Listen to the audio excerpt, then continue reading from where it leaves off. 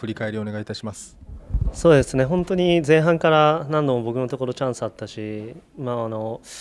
何度もこう決定機あった中で決められていなかったのでこう1点、えー、しっかり結果あの仲間を信じて中に入って、まあ、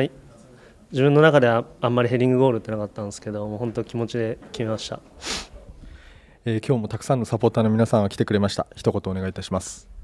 そうですね。本当にこんなにたくさん来てもらえるとやっぱ選手ももっとパワー出るし、まあ、これからラストの試合もたくさんの人に見てもらうためにいいサッカーして、えー、いい結果出してっていうのを自分ら頑張っていくのでこれからも応援よろしくお願いします。ありがとうございました。